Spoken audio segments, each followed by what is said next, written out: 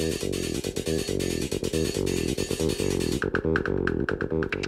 I'm Dan Wildbore from Advanced Carp Fishing Magazine. Today we're going to be looking at the Saber all-track multi-wheel barrow. This barrow is designed to take lots of kit, also a minimum amount of kit, but it, with this feature at the front, you can actually put two wheels either side, you can have two to the left, two to the right, or even just one in the middle. Just a simple turn of this screw here either side, the wheels popped up, you can change them round.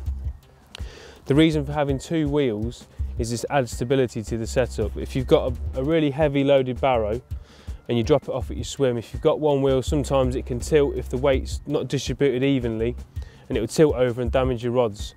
So with the two wheels, it adds rigidity and stability to the setup. It's got a nice little bag inside there to store your water, a few food items, whatever you need to keep covered out of the way. Your bed chair will sit neatly on top of that. There's actually a groove on the front to support your rods to go on top. The rear mud feet are actually extendable, the legs itself. So depending on how tall you are, if you want it higher or lower to save your back, equally the handles are the same. Just a simple twist, out they come to higher. Although it's a big barrow, it's been designed to fit in the car with ease.